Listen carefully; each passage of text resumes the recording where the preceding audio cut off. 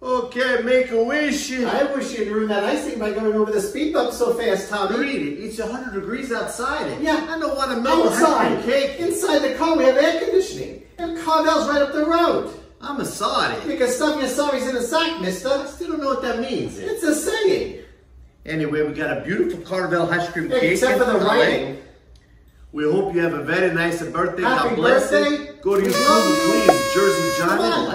Come on. Like it, We made you this video. You can't subscribe? Okay, blow the candles. Read it. Help her blow the All candles.